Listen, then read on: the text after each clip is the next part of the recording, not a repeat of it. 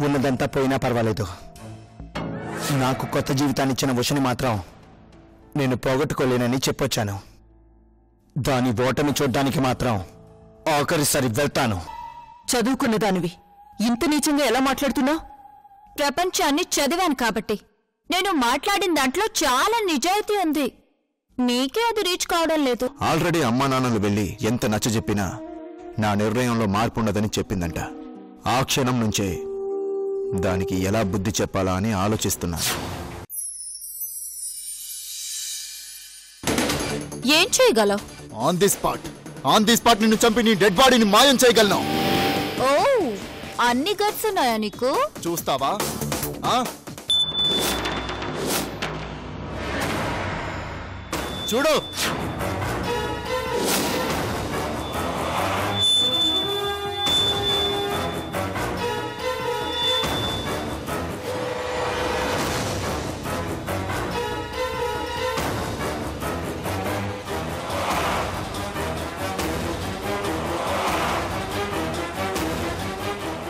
ఒక్కటే bullet.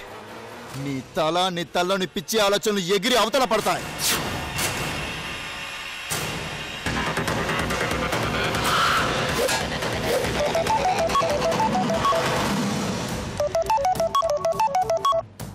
Hello. నేను ఐజీని మాట్లాడుతున్నాను. సార్ చెప్పండి సార్. ఎక్కడున్నావు? ఆ, చిన్న ఎంక్వైరీ కోసం వచ్చాను సార్. ముందు అక్కడి నుంచి బయటికి రా. ఆ, అది కాదు సార్. నీకే చెప్పేది. ముందు శిరీష్ ఆఫీస్ నుంచి బయటికి రా.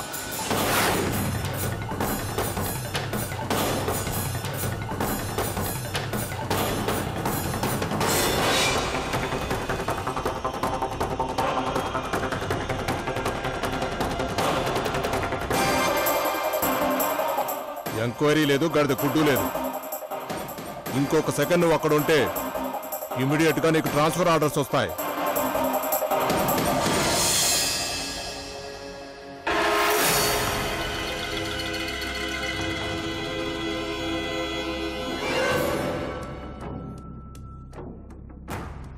సినిమాలు చూసి మీరు బాగా చెడిపోతున్నారయ్యా. కాకి డ్రెస్ మనకే కాదు బంట్రోతులకు కూడా ఉంటుంది.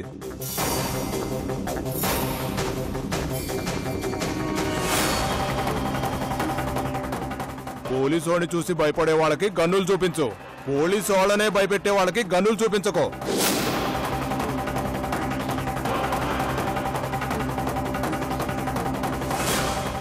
కొన్ని చోట్లకు వెళ్ళేటప్పుడు అక్కడ డేంజర్ జోన్ అని బోర్డు ఉంటుంది.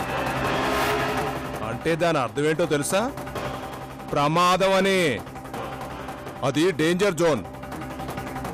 Don't repeated again understand okay sir.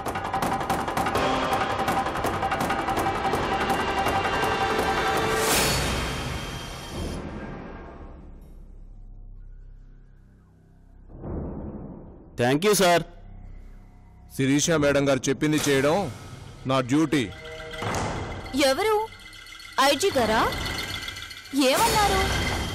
వాళ్ళ జోలికి వెళ్ళొద్దు అన్నారా? అంటారు. ఎందుకంటే ఆయన అనుభవంతో చెప్పారు.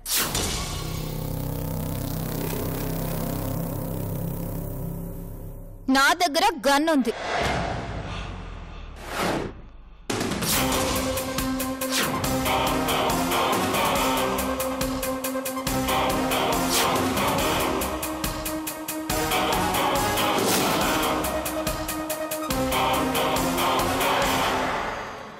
ఇందులోనూ బుల్లెట్స్ ఉన్నాయి. కాల్చితే ఇవి కూడా డైరెక్ట్గా తల్లోకే వెళ్తాయి.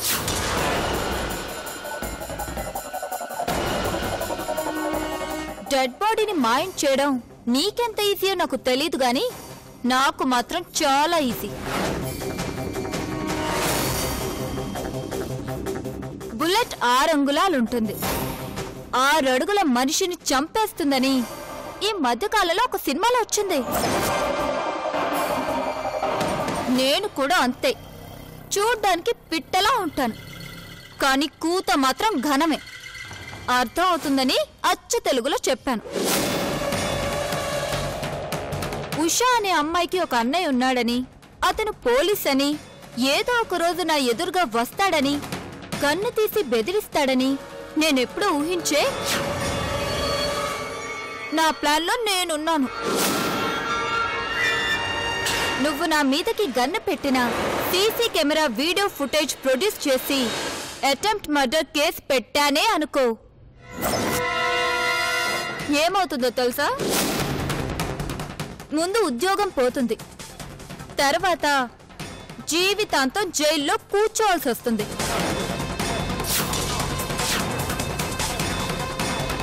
అయినా నిన్నెందుకు వదిలేస్తున్నానో తెలుసా? Point number one. ఆ రోజు నన్ను చూస్తే నీ చెల్లెల్ని చూసినట్టుంది. అందుకే వదిలేశాను అన్నావు కదా? నేను అందుకే వదిలేస్తున్నాను. Point number two. మీ వాళ్ళు మళ్ళీ మళ్ళీ ఇలాంటి పిచ్చి ప్రయత్నాలు చేయకుండా నువ్వు వాళ్ళకి బుద్ధి చెప్తావని. ఓకే? నేను ఎంత అలర్ట్గా ఉంటానో ఇప్పుడు నీకు బాగా అర్థమైంది అనుకుంటా? నౌ యూ కెన్ గో ప్రతి మనిషికి ఒక అవకాశం వస్తుంది. అప్పుడు వాడేంటో నిరూపించుకుంటాడు. చేతిలో గన్ ఉంది. కాల్చడానికి శత్రువు ఎదురుగా ఉంది. అయినా ఏం చేయలేకపోయావు? ఇంకొక అవకాశం ఇస్తే మాత్రం ఏం చేయగలవు? చెల్లెలి జీవితానికి ఏమైనా అయితే అప్పుడు అప్పుడు తెలుస్తుంది. నీ చెల్లెలు గంగలో కలిసినా నీ ఫ్యామిలీ ఏట్లో దూకినా నా డెసిషన్ మారదు. యు కెన్ గో నా చెల్లెలు విడాకులు తీసుకోకుండా నువ్వు నువ్వు ఏమీ చేయలేవు. అదొక పెద్ద అడ్డే అయితే ఒక రోజున నీ చెల్లెలే తీసుకొచ్చేస్తుంది. Don't waste my time bro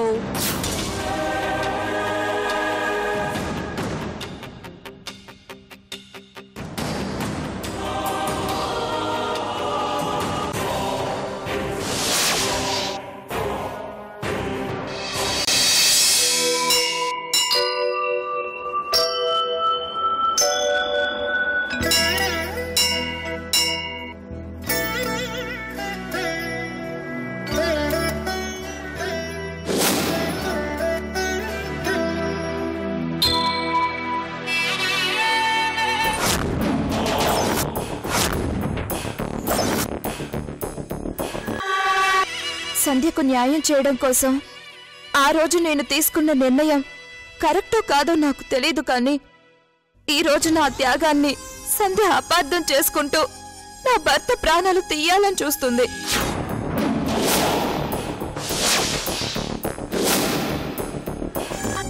ఇంకోవైపు చూస్తే నా మాంగళ్యాన్నే కాదు కుటుంబం మొత్తాన్ని నడి రోడ్డు మీదకి నెట్టాలని ఆ దుర్మార్గురాలు ప్రయత్నిస్తుంది.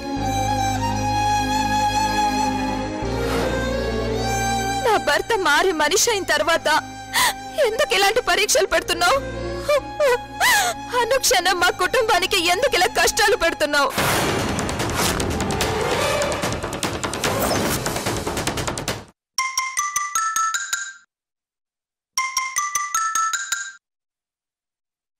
yeah John yeah I'm coming by eleven o'clock I be There thank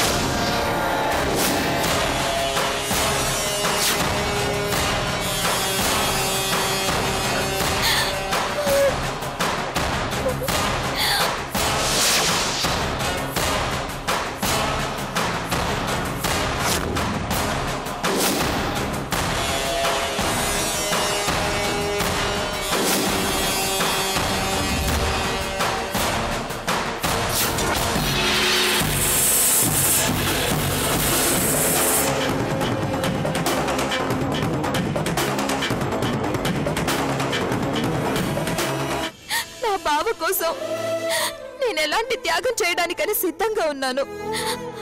నా బావ ప్రాణాల బదులు నా ప్రాణాలు తీసుకో.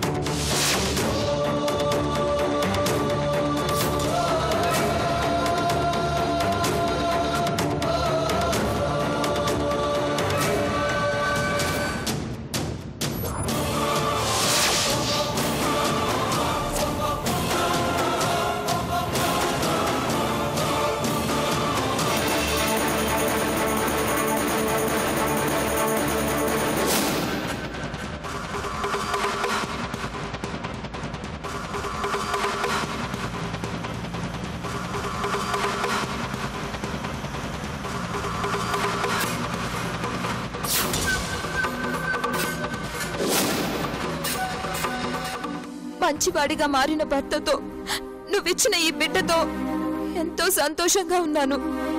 మేమేదైనా అపరాధం చేసుంటే మమ్మల్ని క్షమించి మా నుంచి మా సంతోషాన్ని దూరం చేయకుండా కాపాడు తండ్రి.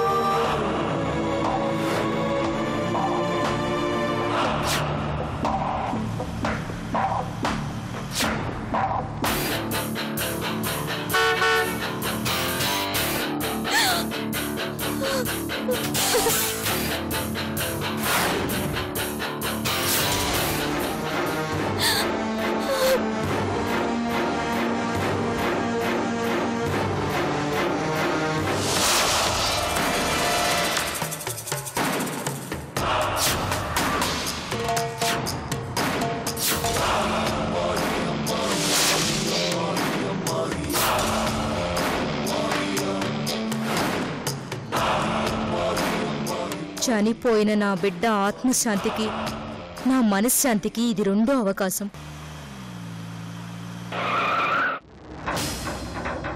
ఈసారి గురి తప్పను.